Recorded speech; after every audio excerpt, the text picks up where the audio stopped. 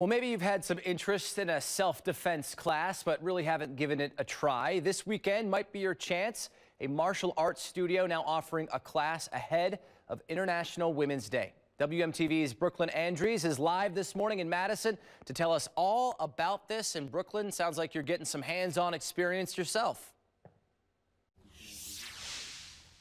Yeah, good morning, Tim and Gabriella. The hair is up now. We are going to dive right into some things that if you attend this event this weekend, you can learn. So Elise is going to be my instructor this morning. She is a traditional martial, martial arts instructor and jiu-jitsu instructor. Mm -hmm. Good morning, Elise. Good morning. What are people going to be learning this weekend? Absolutely. So we always start by emphasizing that you shouldn't ever have to get in a physical altercation. We emphasize verbal de-escalation first. For our kids, that fits into our uh, anti-bullying curriculum. For our adults, it's just a good idea. um, but if it comes to that, we start with three stages of self-defense. Okay. So the first one I'm going to teach you is our distance striking. So we're going to start with getting into a good fighting stance. There okay. you go. And curl your fingers in, thumbs over like this, and hands up, ready to defend. Elbows in, All and right. knees slightly bent. Now we're going to do our strike. So if an attacker is in uh, this distance range, we're going to start with our front hand, which would be your left, doing our jab punch. Straight across like that.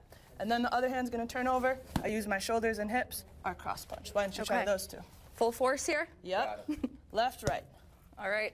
Not bad. and when you do it, you turn your hands over so that your knuckles are down. Now we're gonna add a hook. So I'm gonna keep this up to cover, drop my legs a little bit, left hand comes sideways now. Okay. And then I can duck and roll, ready to be covered. All right. So we're gonna drop it sideways. Jab, two, cross, down three, hook, oh.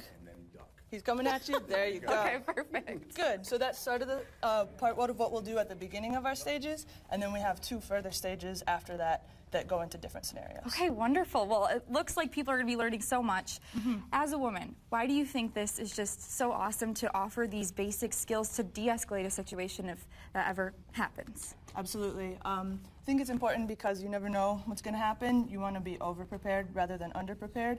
Hopefully it's something that you can just get benefit out of for physical fitness and enjoyment and never have to use. But if it ever did come to that, unfortunately, you want to have skills ready. Awesome. Well, Elise, yeah. thank you so much. I'll send it back to you guys in the studio a little bit. I'm sweating, so I'll send it back in Madison, Brooklyn Andrews, WMTV 15 don't, News. Don't mess with Brooklyn. Hey, she's going to be debuting in her mixed martial arts cage fight this weekend, it looks like, after those skills on display. Yeah, learning a lot here this morning, and as the instructor said, yeah. you, know, you hope it never comes to that, but good to have the, the knowledge if you need it. Absolutely.